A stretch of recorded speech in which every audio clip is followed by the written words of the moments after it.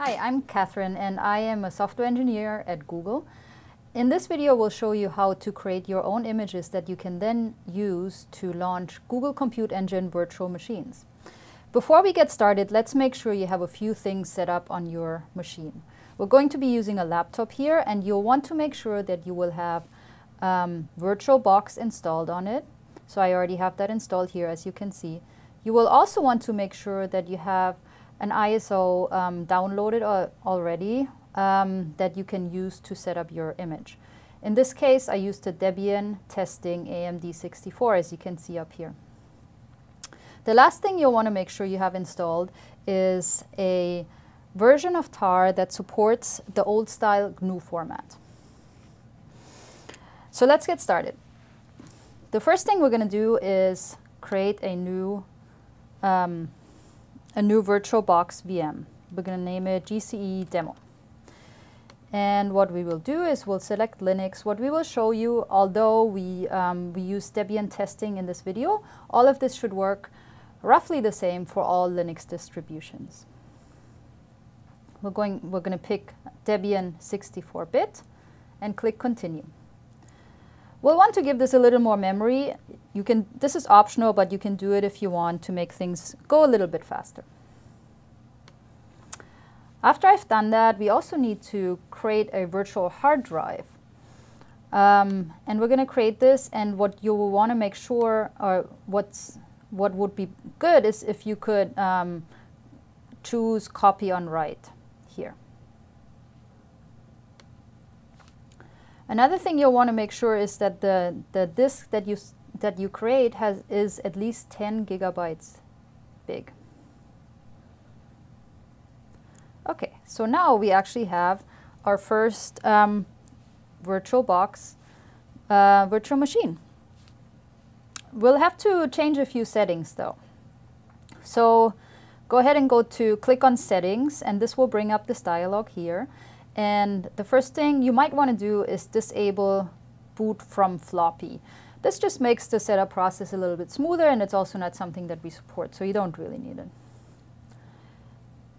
Under storage, when you click on storage, make sure um, you click on the empty under the controller IDE. And then on this little um, CD icon that you see next to CD slash DVD drive.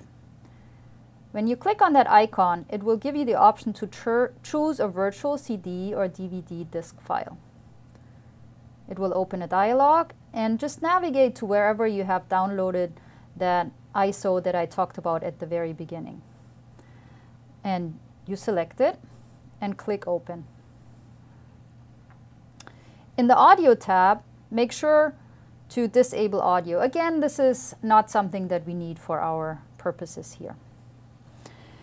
And finally, um, in the network tab, we will want click on the advanced menu here, and we'll want to make sure that we select the para-virtualized network, the virtio-net. Um, and this allows you, or this will make sure that the correct drivers are installed so that everything will work smoothly with the virtual machine that you will eventually launch in Compute Engine. Okay, ready, let's click OK. So this virtual machine is now ready to go. So the next thing we're going to do is we're going to click Start. And this will actually take us through the Debian installer now. So you can use your, um, your up and down arrow keys to um, select graphical install. Click enter and this will now start the installer. For this uh, video, I'm going to just be choosing English and US, so you know choose these as you see fit, of course. So I'm going to choose English, United States, American English. Obviously, these these settings um, should be adjusted to whatever makes sense for you.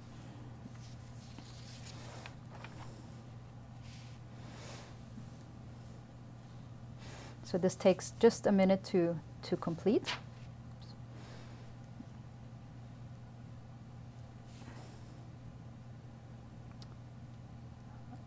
Okay. And is now configuring the network.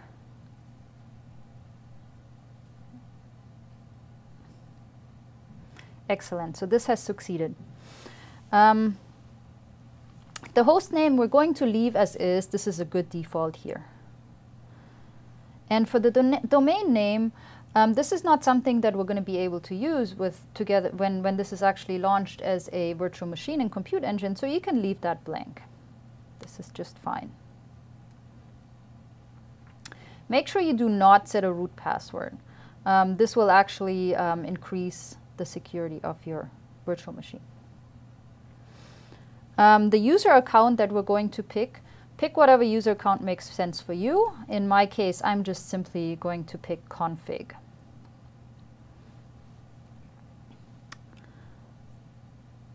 And then you will want to make sure that you use a very strong password. This is the password that you're going to use to log into the virtual machine that you're going to create later on Google Compute Engine. So I'm going to choose a password that hopefully I will remember later.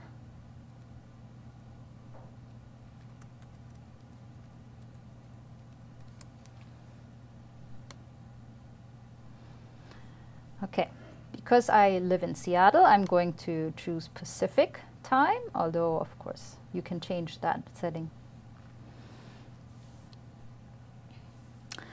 Okay, the next thing we're going to need to do is to partition the disks. Um, really what we want is we want one large disk. We don't really want any partitions.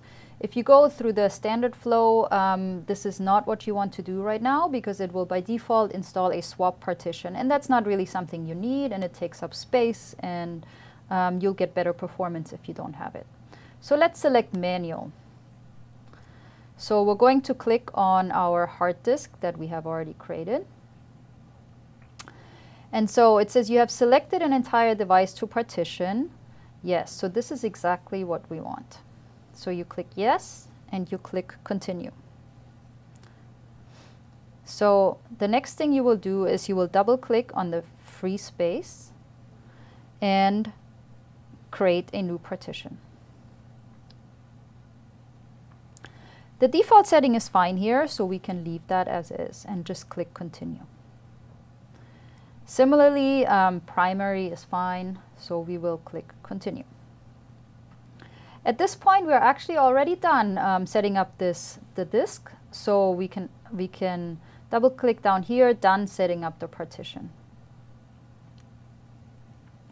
And finally, what we will need to do is all the settings that we have just created and selected, we will want to change, write those changes to disk. Okay.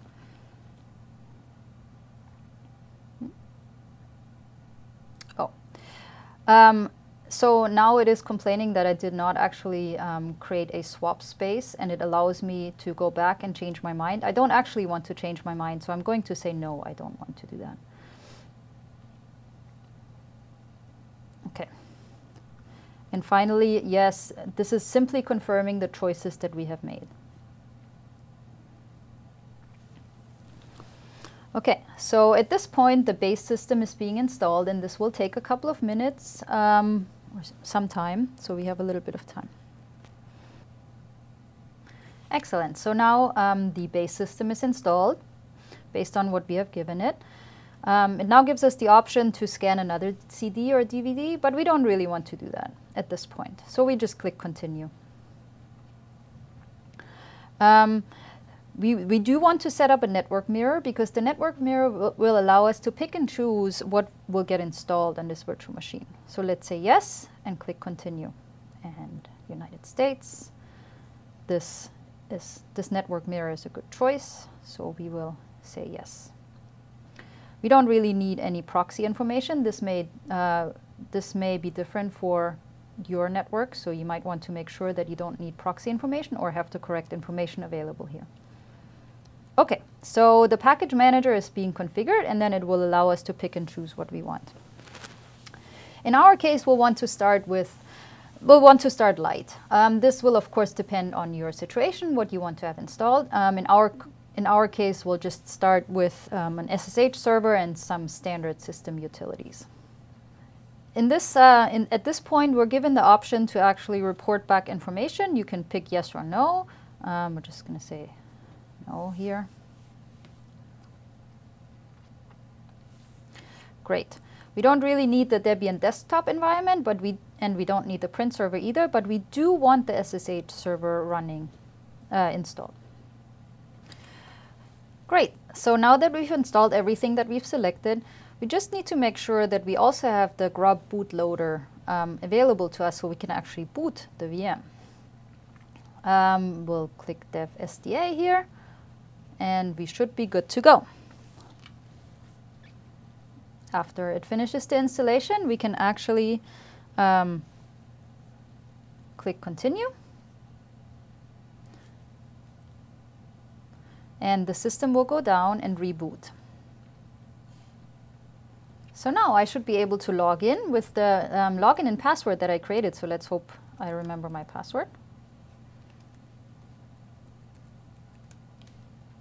Great. so now I'm in this virtual machine that we've just created and configured and booted. Um, so that's wonderful, and we now have this virtual machine, but we haven't tied this at all to Google Compute Engine yet, and this will be the next part. So what we're going to do now is we're going to shut down this virtual machine that we have here. So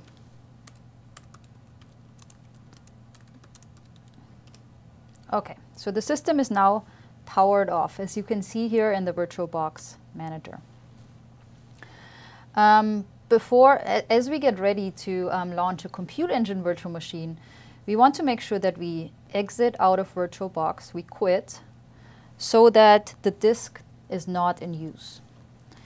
And then to get our disk ready to be used by Compute Engine, what we'll want to do is we will want to create a copy in a different format, in the raw format. Um, and for this, you can use the, the command that I show here.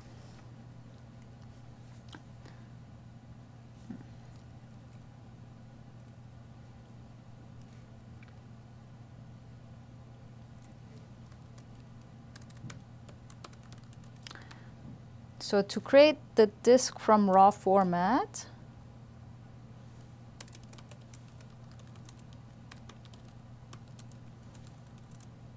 you'd tell it to take the format raw, VirtualBox, VMs, and then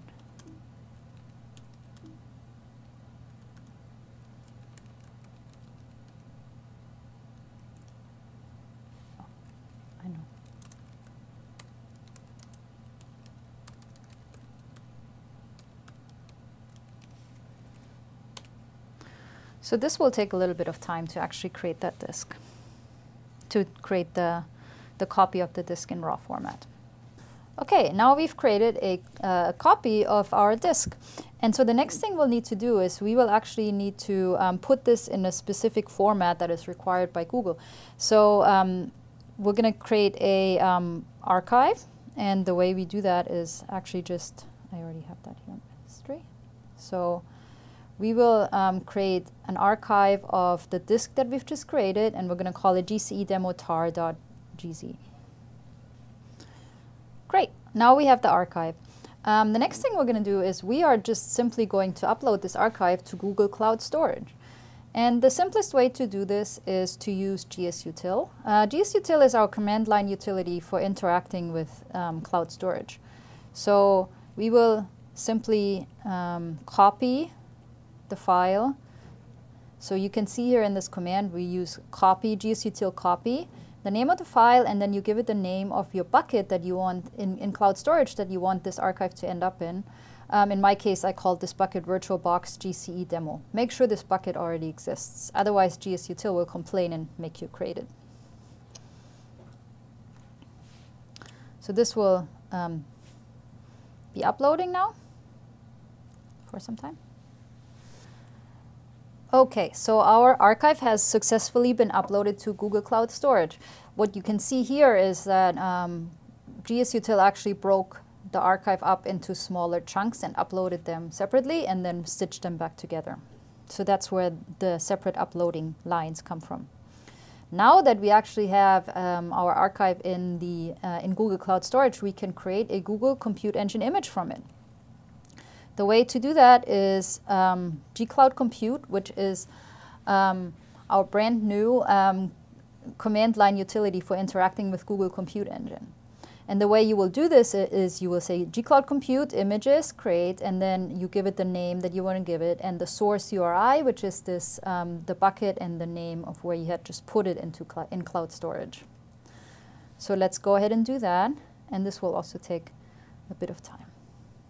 Great, so gcloud compute images came back and it said, yes, great, I've created the, um, the image and its status is ready. We're almost finished. Um, the last thing that we need to do is we actually need to create a virtual machine from the image that we have just created.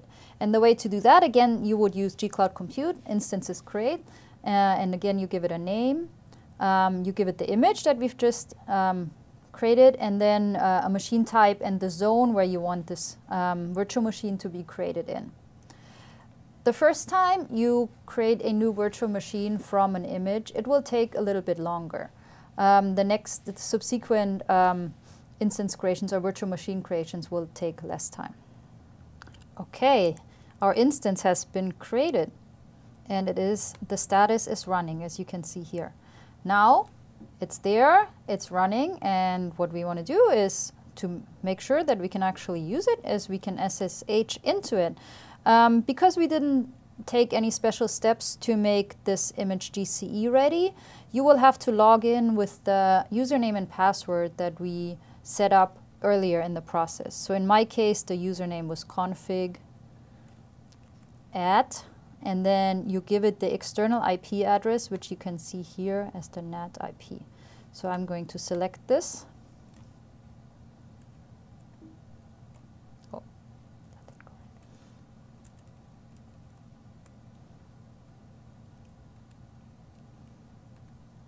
just going to type it. And then I should be able to log into this machine. You say, yes, I want to continue, and then I type in my crazy password again. And here we are. Um, that wraps, wraps up our um, demonstration. I hope you learned from it how to set up your own images and bring them to our platform and use it to set up virtual machine instances.